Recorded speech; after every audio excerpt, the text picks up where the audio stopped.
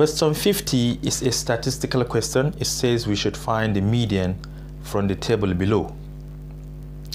We are given numbers in the ascending order 1 to 5. And frequency tells the number of times each number here appears. So our median is going to be among the numbers, not from the frequency. So what we are going to do here is to add all the frequency together. That is the first task. Summation of all the frequency, or let me call it summation of f, will be equal to, we have 8, 2, 10, we have 5, 15, we have another 5, 20, and this one, 24. So we have 24. Now to find the position of the median, position of the median will be equal to n over 2. n over 2 position. And our n is the summation of our frequency. So this is equal to uh, 24 over 2 is a position. So we have 12 position. So to find our this 12 position, we are going to add our frequency either from the left hand side or from the right hand side. We keep adding, adding, adding till we reach a position where we have 12.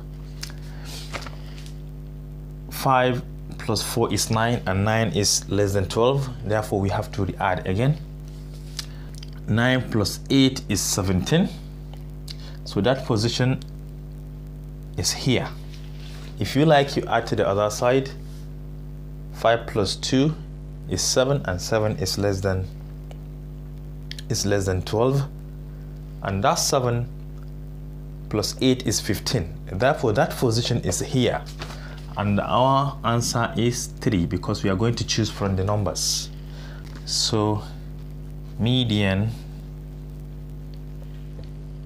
equals 3 which is the option D and another way you can do it, which is a kind of suffering yourself, is to arrange these numbers according to their frequency. Let me show you.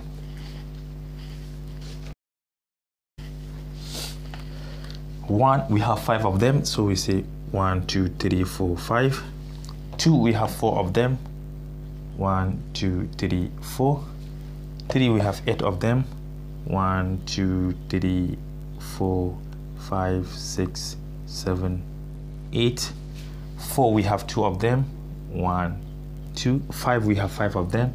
One, two, three, four, five. Now we want to find the middle number. That middle number is our median. So now let us count. Let me remove five here. One, two, three, four, five. Let me remove five here.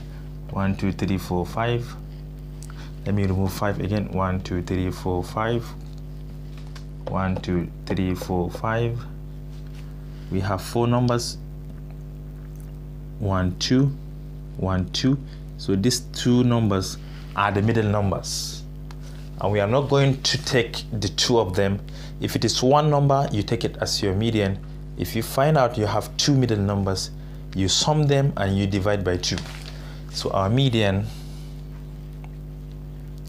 will be equal to 3 plus 3 divided by 2 and this is equal to 6 over 2 and this is equal to 3 as required. 3 is our median which is option D here.